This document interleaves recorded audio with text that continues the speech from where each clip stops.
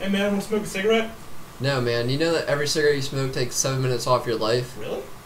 That's not worth it. I'm sure growing up you heard the phrase, winners never quit and quitters never win. Well, when it comes to smoking, that's just wrong. See, no one thinks it growing up, but our mentors were right. Smoking is a bad thing. They drilled it in our heads throughout our early years, but still, teens choose to do it. Do they just not realize the short-term costs and long-term problems that smoking is related to? I told one of my friends to stop smoking. They'd quickly laugh off as a joke, as most teens would. But the reason I'm presenting this speech is so that down the road I'm not visiting them in a hospital or even worse, attending their funeral. See, smoking is also the single most preventable cause of death in the U.S. According to the Center for Disease Control and Prevention, there is a reported 43.8 million smokers in the U.S. That's about 1 in 5 adults. Interestingly enough, it is also reported that there was about 443,000 deaths due to the adverse health effects of smoking, also nearly 1 in 5 deaths in the U.S. The short-term effects of smoking can be seen immediately. So, first one is going to be bad skin. Teens already deal with pimples all the time and acne, and I don't know why you're going to want to make yourself have more trouble with that when not smoking is going to be something that's going to prevent that.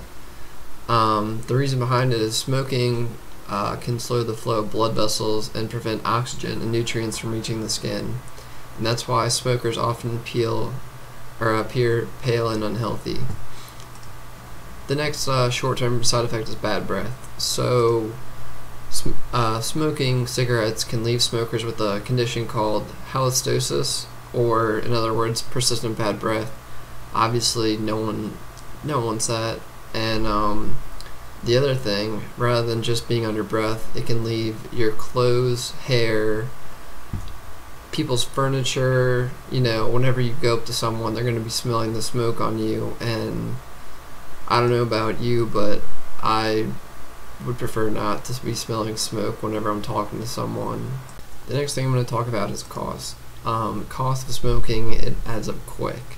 The average smoker burns through about 13 to 16 cigarettes a day, which is equivalent to about 4 to 6 packs a week. Um, if you use these numbers, it's going to be about $1,500 a year. You could do a lot of different stuff. Buy a new TV. We're all college students. Like, we obviously need the money. Um, as well as uh, smokers have to miss work. Um, they miss about 25% more uh, sick days than non-smokers. And on top of that, um, you're going to have to pay big dry cleaning bills. You're going to have healthcare costs and higher life insurance premiums. And it may go as far as some employers not even hiring you because you are a smoker. Now, all that being said, we haven't even touched upon the long-term effects, which are the serious ones. Um, according to the Centers for Disease Control and Prevention, Smoking shortened male smokers' lives by 13.2 years and female smokers' lives by 14.5. Uh, smoking causes an estimated 90% of all lung cancer deaths in men and 80% of all lung cancer deaths in women. Here's a real life picture of healthy lung tissue from a non smoker and diseased lung tissue from a smoker. It also increases your risk of heart disease by 2 to 4 times the average stroke by two to four times the average also, and the risk of developing lung cancer is 23 times greater if you are a smoker.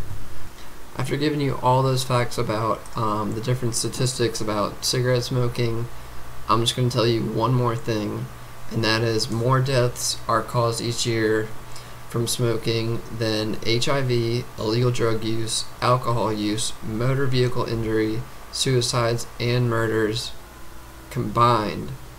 So just think about that next time you pick up a pack of these.